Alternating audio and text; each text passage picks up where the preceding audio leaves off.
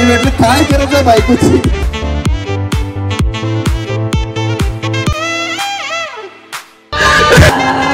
बाथरूममध्ये घेऊन गेले. कोणाचीच भूक आहे का बाळा? पंक्याचा बर्थडे आहे. आज स्टँडअपचा शो आहे आपला तिथे जायच्या आधी चेतन बोलला होता एकदा कॅफेवर ये म्हणून ते पोस्टर लावला आहे म्हणे. त्याची स्टोरी ऐकायची होती. तर आपलं पोस्टर खरंच लावलेलं आहे तर इथं. तर इथं स्टँडअपचा शो होणार होता. आपला हे कॅफे इटालियसवर त्यांनी पोस्टर वगैरे लावलेलं आहे. तर चेतन तर नाही आहे म्हणते सध्या तर मी हे शर्ट बदलणार आहे तर त्याच्यासाठी आपण डिमांडमध्ये चक्कर मारून एखादा टी शर्ट घालून मी मस्त शोल जायच्या आधी. चेतन काय म्हणे आमच्या कॅफेवर म्हणे एवढ्या दिवसाचे म्हणे एवढे पोस्टर आले म्हणे लागासाठी एक पोस्टर नाही लावून दिला म्हणे. फक्त तेव्हा पोस्टर लागला म्हणे ते पाहासाठी म्हणे. मला विश्वास नव्हता खरंच आलो पाहासाठी. पोस्टर बाहेर झालो बाकी गाडीच कुठे पोस्टर दुसऱ्याचे कुठे पोस्टर दुसऱ्याचे सरायचे पोस्टर दाखवू नको दाखवू नको दाखवू नको. उलटे दाख असे अंधार काढून ठेवले. नाही म्हणे भाऊचा शो आहे म्हणे तर फक्त भाऊचाच बोर्ड रे. म्हणे कॅफे एटेलियसच्या समोर. बम प्रेम आहे भाऊचा आपल्यावर. अमरावतीमध्ये जर रील जर झाल्या असन तर त्या शशांक दादापासून कॉमेडीच्या स्टार्टिंग झालेल्या आहे. त्याच्या आधी कॉमेडी एवढी खतरनाक कोणच केली नाही. एवढं खतरनाक शशांक भाई एवढं खतरनाक प्लस खतरनाक. धन्यवाद. हे जर खरंच खोटं असन तर एक वेळा तुम्ही मनापासून रील पाहा त्याच्या एकच वेळा मनापासून पण नाही हसल्याशिवाय राहायचं तर मग काय राहील? आणि आजपासून स्टँडअप कॉमेडी बी चालू होणार आहे. पहिलाच शो आहे इथं म्हणजे ऑलरेडी तीन चार शो केलेले आहे आपण पण आज प्रोफेशनल पहिला शो आहे माझा. जो की रेकॉर्डिंग होणार आहे आणि युट्यूबवर येणार आहे तर कीप वॉचिंग तर आता इथं आनंद भाऊ आहे आपल्यासोबत एंट्री घेणार आहे आपण. आहे आपला स्टँडअप शो तर फूड कोर्टमध्ये आलेलो आहे आपण आता. इथे एंट्री आहे आणि इथं आपलं बॅनर लागलेलं आहे. इथं आपलं पोस्टर लागलेलं आहे. आता आपण एंट्री घेणार आहे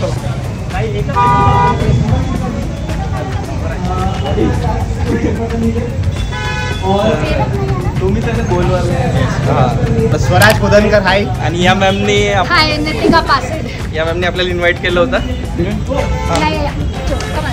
इथं मॅजिक शो चालू आहे आता. तुम्ही वरतून बघू शकता. क्लिक दाखवली सगळी हिंदी साईडरच दिसून राहिली. मराठी जोक समजेल की नाही?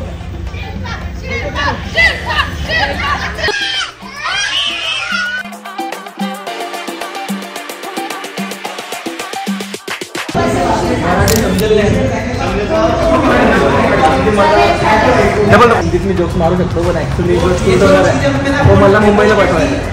म्हणून मराठी. इकडे शो चालू आहे. शो पब्लिक आल्यावर मी पाहिलं की मला वाटलं हिंदी सायडर आहे का म्हणून तर मग मराठी जोक समजून की नाही. तर मग मॅडम बोलल्या की म- अमरावतीत असल्यावर जे हिंदी बोलतात त्यांनाही मराठी समजतं तर जरा आता रिलीफ वाटत आहे. बघा पाण्याची बॉटल भेटलेली आहे वेगळे सीट्स भेटलेले आहेत. आणि खाटेवर तर मग मजा. पलंग तोड एकदम. पलंग तोड एकदा एक खाट मी घरी घेऊन जाणार आहे आज. मी वेट बघ वेट करत आहे माझ्या टर्नचा की कधी येते म्हणून. कारण की पब्लिक खूप अशी खूप वेळची बसली आहे तर एनर्जी डाऊन झाली आहे. तर मी जाऊन एनर्जी उचलाची वाट पाहून राहिलो फक्त की माझी एनर्जी बघून त्यांची एनर्जीवर आली पाहिजे. आणि आता एज ग्रुपची सगळ्याच एज ग्रुपची आहे तर त्यांना माझे जोक समजते नाही समजत. बघू काय परफॉर्म कर us.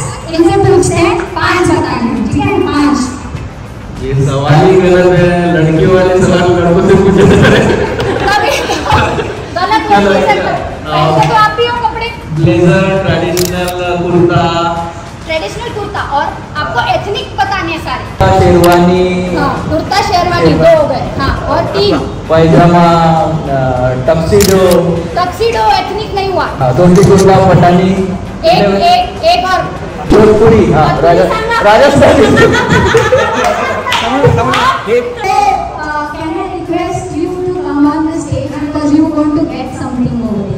मिलेगा क्या आप तो? जल्दी और जल्दी आतापर्यंत खूप शोध झाले इथं पण मेन जो प्रोफेशनल स्टँडअप कॉमेडी आहे ते आज होणार आहे अमरावतीत. तर बघत राहा. ये गिफ्ट का बंटवारा होने वाला है।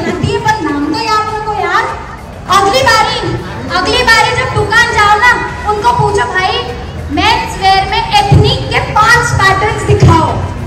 तो आपको याद रहेगा Shashank please can we have you on the stage please Hello.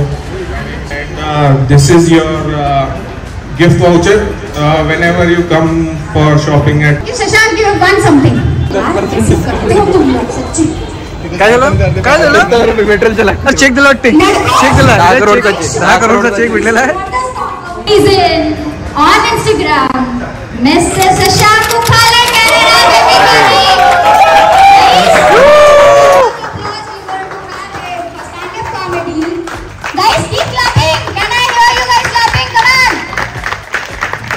नाही नाही चालेल. हातातही चालेल काही विषय नाही. पब्लिक तशी तशी थकून गेलेली दिसत आहे फॉलो करत असाल तर थोडस ओ मिळेल का मला त्यांच्याकडनं? ट्रान्सफर करा. तर आहे आहे एनर्जी आहे म्हणजे मुलांमध्ये उरलेली बऱ्यापैकी. मराठी किती लोकांना येते इथे ते पण थोडस थोडस. बऱ्यापैकी सगळ्यांनाच येते तर काही विषय नाही आहे. आता कम्फर्टेबल वाटत आपल्या लोकात आल्यावर. वर एकदम अजीब वाटत. ऍक्च्युली माझे जोक जास्त करून तर एटीन प्लस असतात पण मला इथं माहिती पडलं की मम्मी पप्पा लोक पण आहेत. तुम्ही आहे हा पण मम्मी पप्पा समोर एटीन प्लस नाही जमत ना. रिलेटेबलच कंटेंट असतो माझा नेहमी माझ्या चॅनलवर तर मी रिलेटेबलच गोष्टी सांगणार आहे येते जसं की आपले आजोबा लोक असतात. यांचं कसं असतं आता मी स्त्री आणि पुरुष मधला डिफरन्स सांगणार आहे. पुरुषाचं कसं असतं ते नंतर सांगू. पहिले स्त्रीचं कसं असतं की काही झालं की चार लोक काय म्हणतील नातेवाईक काय म्हणतील कोणी घरी आलं तर पसारा असेल तर काय म्हणेल.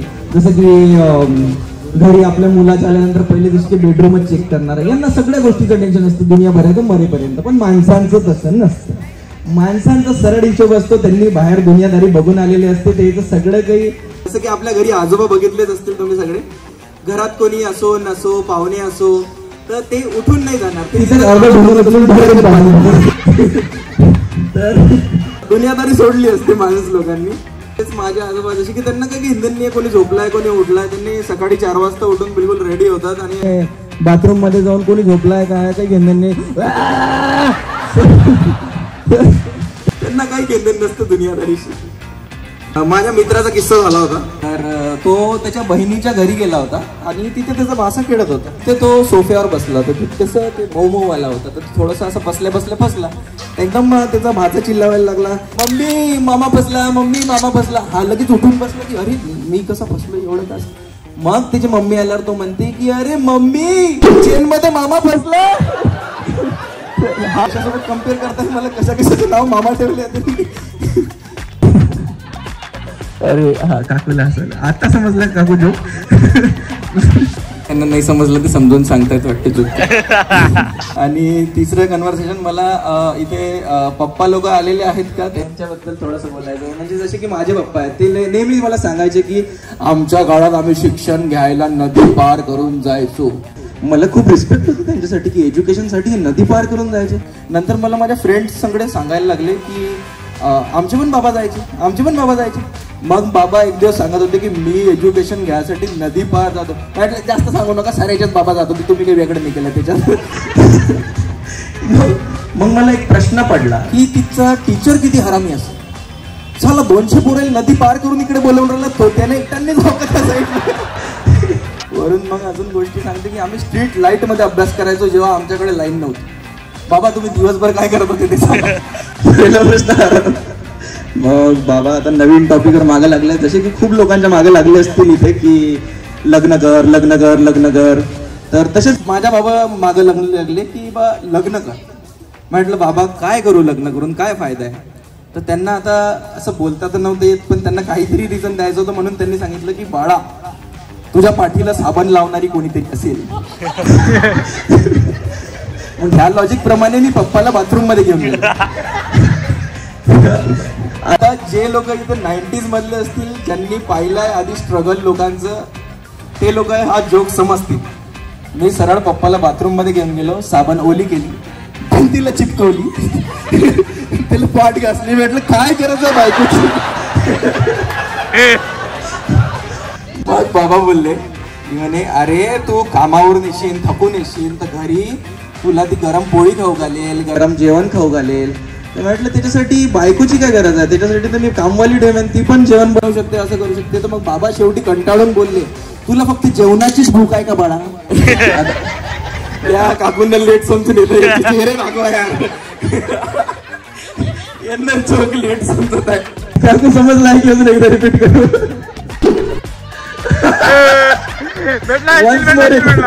आता आपण पोरा पोरींबद्दल बोलू. बॉईज आणि गर्ल्स मधला डिफरन्स काय असतो? आता एक्साइटमेंट लेवल बघा पोरांची आणि पोरींची. पोरींचा जेव्हा बर्थडे असतो तेव्हा एक दुसरीला कॉल करते की हे प्रीती या महिन्यात आपल्या कोमलचा बर्थडे आहे ना? तर तिला excitement oh my god birthday मात आपण ना एक काम करू तिच्यासाठी व्हाईट क्राऊन बनव बनव व्हाईट ड्रेस बनव मग त्या पट्टीवर बर्थडे गर्लची स्क्रिप्ट घेऊ.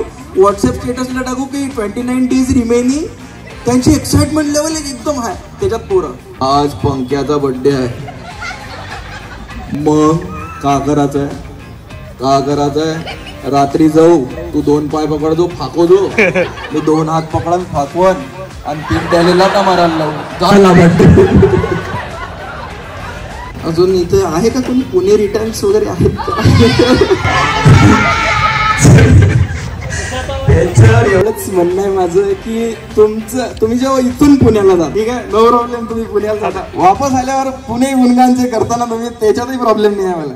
पण त्याच्यात जे तुम्ही अमरावतीला नावं ठेवता ना त्याचा बदला मी इथे घेणार आहे. आमच्या पुण्यात पब आहेत तुमच्याकडे आहेत का? ती माझी एक मैत्रीण सांगत होती. म्हणजे मैत्रीण गेली तिकडे आणि सांगत होती की बा तुमच्या अमरावतीत पब आहे का? तुमच्या अमरावतीत लेट चालू राहतं का? तुमच्या अमरावतीत नाईट आउट मारता येतं का? तुमच्या अमरावतीत हे आहे का? तुमच्या अमरावतीत हे आहे का? ते आहे का? तिथील फक्त एकच प्रश्न विचारला पैदा कुठं झाली होती? आता ते पैदा झाली ती डफरींमध्ये सरकारी डफरींमध्ये सरकारी. आणि तुमची अमरावती तुमची अमरावती का कर राहिली वा सब लोगों को मजा आया होगा. एवरीबॉडी एंजॉय मजा आली का? गाइस एवरीवन वाला I am so sorry Swaraj and Shashank both S S no so guys उघडून बघ ना उघडून बघ. इथेच उघडून बघ. Prank नाही होत आहे ना सगळ्यांसोबत प्लॅन